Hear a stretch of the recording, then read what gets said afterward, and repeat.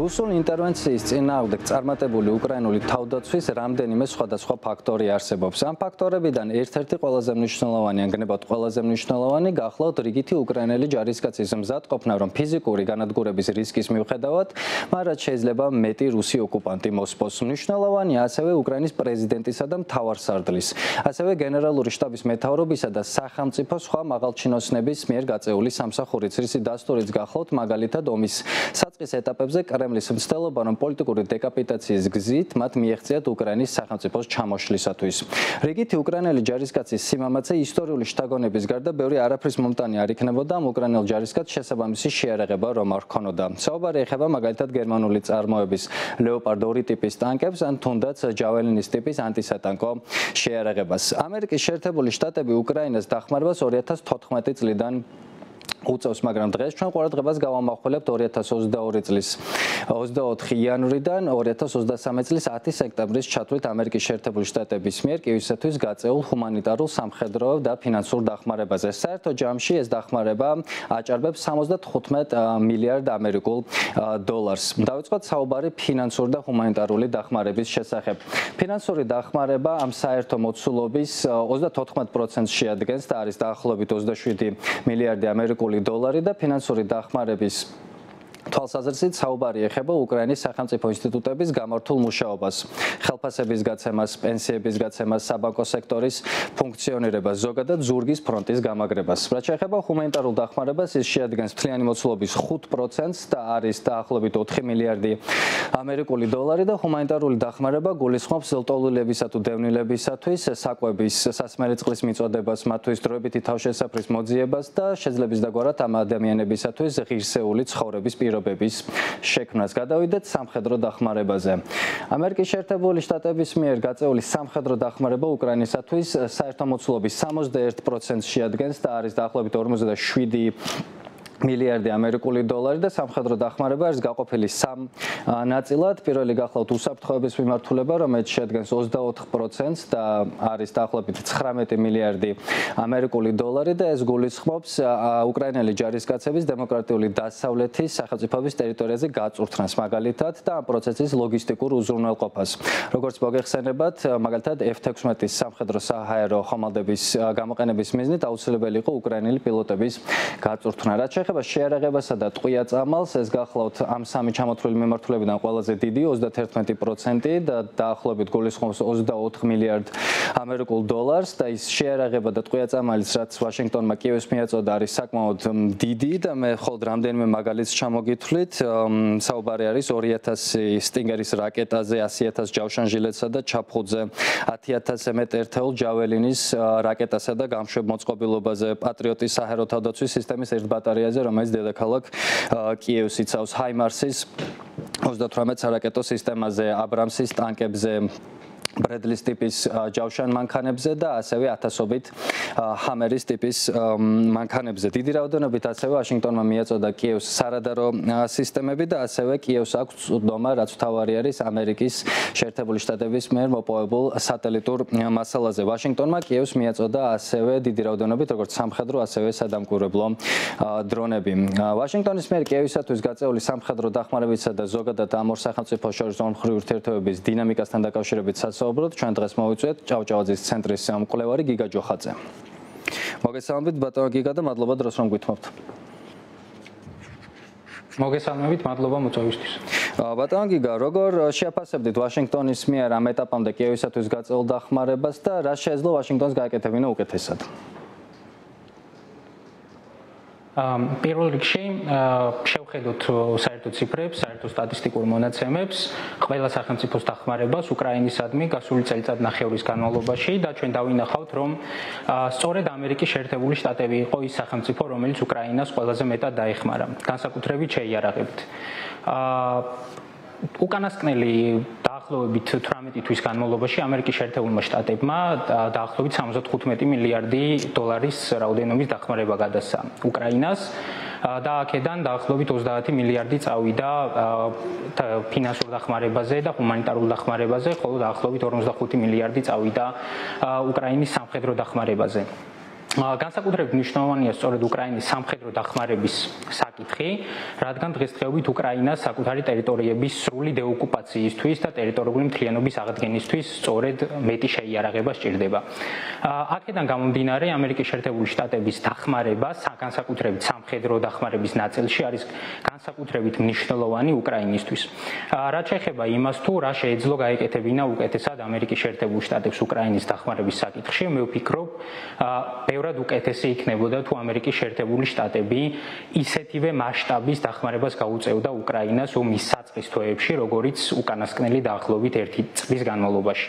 თუ ჩვენ გადავხედავთ ამერიკის შეერთებული შტატების განსაკუთრებით სამხედრო დახმარების დინამიკას უკრაინის მისამართით, ჩვენ დავინახავთ იმას, რომ დახმარების სამხედრო დახმარების დაახლოებით 70% 2022 წლის ბოლო თვეებზე და 2023 წელზე მოდის შესაბამისად იმ შემთხვევაში თუ ვაშინგტონი კიევს დაეხმარებოდა ისეთივე მასშტაბით როგორც ისეთივე მასშტაბით ომის საწყის ეტაპზე როგორც არის დღესდღეობით ამ შემთხვევაში უფრო მაღალი ალბათობა იქნებოდა იმის რომ კრემლი იმ ტერიტორიების ოკუპირებასაც ვერ მოახერხებდა რომელიც მას დღეისათვის აქვს უკრაინაში დაკავებული თქვენი ბევრი კოლეგა ვარაუდობდა, რომ ჰამასა და ისრაელის შორის დაპირისპირების დაწყების ფონზე უკრაინისადმი გაწეული სამხედრო დახმარება შემცირდებოდა. რას გვეტყოდით ამის თაობას?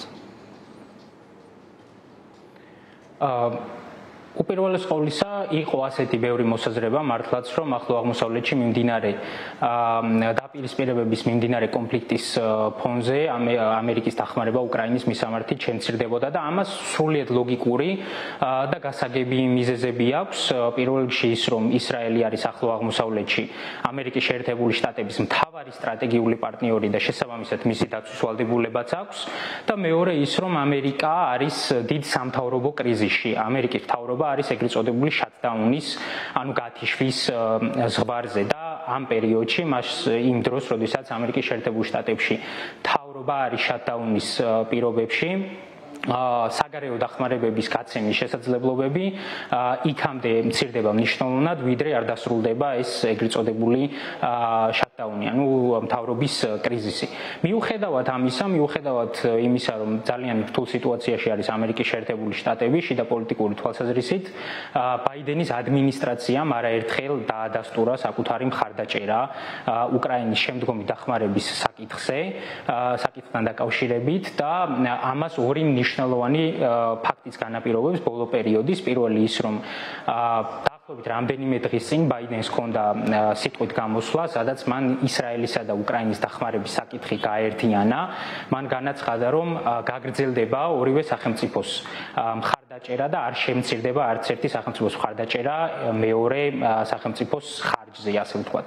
და მეორე მნიშვნელოვანი ფაქტორი ასევე არის ის, რომ ბაიდენმა კონგრესს მოსთხოვა დაახლოებით 100 მილიარდიანი საგარეო პოლიტიკური დახმარების პაკეტის გადმოცემა, გადაცემა ზოგიერთ სახელმწიფოსთვის, მათ შორის უკრაინისთვის და ისრაელისთვის. უკრაინისთვის გადასაცემი დახმარების რაოდენობა შეადგენდა დაახლოებით 60 მილიარდ ამერიკულ დოლარს, ხოლო ისრაელისთვის დაახლოებით 15 მილიარდს და მას შემდეგ რაც ამერიკის შეერთებულ შტატებში სამთავრობო კრიზისი დასრულდება, ძალიან მაღალი ალბათობით კონგრესი გამოუყოფს ბაიდენს მის მიერ მოთხოვნილ თანხას ამ 100 მილიარდ დოლარს. შესაბამისად, ნებისმიერი სპეკულაცია იმ საკითხთან დაკავშირებით, რომ ახლო აღმოსავლეთში მიმდინარე კონფლიქტის გამო ისრაელსა და პალესტინას შორის ამერიკის შეერთებული შტატები აღარ გააგრძელებდა უკრაინის დახმარებას, მე ვფიქრობ, რომ არის არარეალისტური და ნაკლებად სავარაუდო. არსებობდა ასეთი ვარაუდიც, რომ ვლადიმერ პუტინი ელის თეთრ სახლში დონალდ ტრამპის დაბრუნებას, როგორ აისახება და როგორ ითარგმნება ეს მოლოდინი ფრონტის ხაზებზე არსებულ ვითარებაში?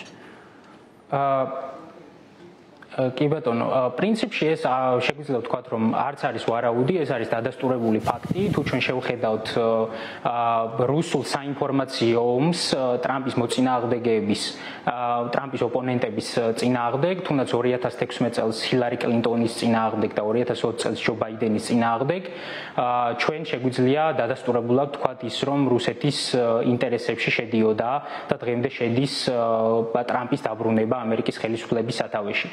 აა ტრამპ ტრამპი რაც ეხება უკრაინის დახმარების საკითხს, იმ შემთხვევაში თუ გახდება ტრამპი 2024 წელს ამერიკის შეერთებული შტატების პრეზიდენტი გაგრძელდება თუ არა უკრაინის მხარდაჭერა, მე ვფიქრობ, რომ რა თქმა უნდა გაგრძელდება უკრაინის მხარდაჭერა, რადგან ამ თემაზე არსებობს ზეპარტიული კონსენსუსი უკრაინის დახმარების საკითხთან დაკავშირებით, ორივე პარტიაში თანხმებული იმაზე, რომ აუცილებლად უნდა გაგრძელდეს უკრაინის მხარდაჭერა. შესაბამისად, ტრამპის არჩევის შემთხვევაშიც ნაკლებად სავარაუდოა ის, რომ უკრაინისადმი გაწეული დახმარება ამერიკის შეერთებული შტატების მხრიდან საერთოდ გაჩერდება. თუმცა მიუხედავად ამისა, არსებობს იმის შესაძლებლობა, რომ ტრამპის არჩევის შემთხვევაში უკრაინისადმი გაწეული დახმარების მასშტაბები მნიშვნელოვნად შემცირდეს და ამას განაპირობებს პირველ რიგში ექს-პრეზიდენტ ტრამპისა და მისი უახლოესი გარემოცვის მისი მხარდამჭერების რიტორიკა, რომლებიც აცხადებენ, რომ ამერიკის შეერთებული შტატები საკუთარ შიდა პოლიტიკაზე უნდა კონცენტრირდეს და ნაკლებად უნდა დაეხმაროს უკრაინას. ამ ჯგუფს ტრამპს და მის მხარდამჭერებს ჯერ კიდევ დიდი მხარდაჭერა აქვს ამერიკის შეერთებულ შტატებში და შესაბამისად ამ ჯგუფს მნიშვნელოვანი შიდა პოლიტიკური გავლენის მოხდენა შეუძლიათ. და იმ შემთხვევაში თუ 2024 წელს სწორედ ტრამპი გახდება ამერიკის შეერთებული შტატების პრეზიდენტი, პრეზიდენტი შესაძლოა მართლაც გარკვეულწილად შემცირდეს, არ შეჩერდეს, ვიმეორებ არ შეჩერდეს, თუმცა მნიშვნელოვნად შემცირდეს ამერიკის შეერთებული შტატების დახმარება უკრაინისადმი. აქედან გამომდინარე მე ვფიქრობ, რომ 2024 წლის ამერიკის შეერთებული შტატების საპრეზიდენტო არჩევნებში რუსეთი ისევ გააგრძელებს საკუთარ ჰიბრიდულ ომს ამერიკული ინსტიტუტების, განსაკუთრებით ბაიდენის ადმინისტრაციის მიმართ, შეეცდება ბაიდენის ადმინისტრაციის დისკრედიტირებას და პირიქით ტრამპის მხარდაჭერას. და ჩემი ბოლო შეკითხვა ბატონო გიგა, რა ესაჭიროება უკრაინას სრული დეოკუპაციისთვის? უკრაინელებმა დაგვანახეს ის, რომ საკმაოდ შეზღუდული რესურსების პირობებში შეუძლიათ საკმაოდ ეფექტურად იბრძოლონ რუსული აგრესიის წინააღმდეგ, იმისათვის, რომ მოხდეს უკრაინაში სრული დეოკუპაცია და უკრაინის ტერიტორიული მთლიანობის აღდგენა, მე ვფიქრობ, რომ საჭიროა მხოლოდ ერთი რამ, საჭიროა მეტი შეიარაღება, მეტი ლეტალური იარაღის გადაცემა უკრაინისთვის, რათა რუსეთის ტერიტორიას უკრაინა მიაღწიოს კიდევ უფრო შორი დისტანციებიდან. აქენა გამ გამომდინარე მე ვთვლი რომ ყველაზე მეტად მნიშვნელოვანია კოლექტიურმა დასავლეთმა არათუ შეწყვიტოს, არათუ მხოლოდ და მხოლოდ გააგრძელოს, არამედ კიდევ უფრო მეტად გაზარდოს იმ დახმარების მასშტაბები, რომელსაც ის აწვდის უკრაინას და ამ შემთხვევაში მე დარწმუნებული ვარ იმაში, რომ უკრაინა მიაღწევს მის თავარ მიზანს, საკუთარი ტერიტორიული მთლიანობის აღდგენას და ქვეყნის სრულ დეოკუპაციას რუსეთის ფედერაციისგან.